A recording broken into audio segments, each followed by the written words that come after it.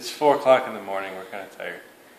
Uh, anyways, we're we're doing a live satellite up link right now uh, for a little known show called Good Morning America, and um, we have the FS700 here. And this is I've been hearing a lot of debate like DSLR is fine for certain things, and no, we got to get a pro camera.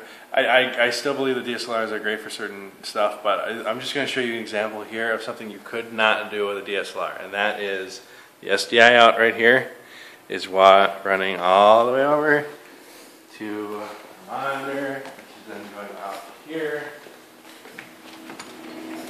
And you can see it, that is a satellite uplink truck from Chicago. And we are uplinking, getting our uplink going live for Good Morning America. This is not something you can do with a DSLR. This isn't even something you can do with the FS100. It's because we have the FS700 that we were able to even say yes to the client without having to do any rental or anything like that. So, there you go. Benefits of a pro camera.